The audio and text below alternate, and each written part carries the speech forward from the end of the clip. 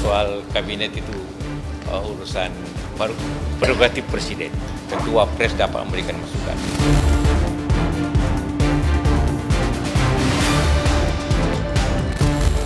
Beliau juga bilang Juli baru nanti ada pembicaraan-pembicaraan. Hmm?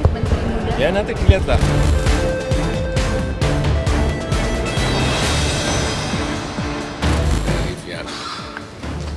Koalisi, dari profesional, kira-kira begitu.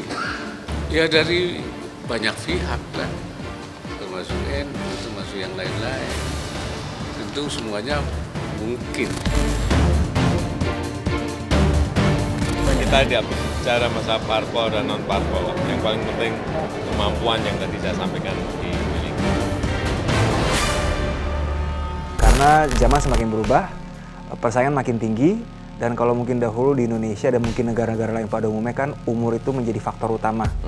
Tapi sekarang itu kan pada usia muda kita semakin dipaksa untuk lebih bisa hebat lagi. CSIS itu menggarisbawahi bahwa hanya 2,3 persen di generasi milenial itu yang tertarik dengan isu-isu politik. Disampaikan oleh Pak Jokowi bahwa menteri untuk di periode kedua ini adalah menteri yang juga sanggup uh, beradaptasi dengan perkembangan teknologi yang ada, uh, sanggup mengemas isu-isu yang memang uh, kekinian, ya. karena memang kan teknologi ini cepat uh, berkembang. Artinya milenial bukan hanya sebatas objek politik jelang elektoral, tapi juga menjadi aktor utama.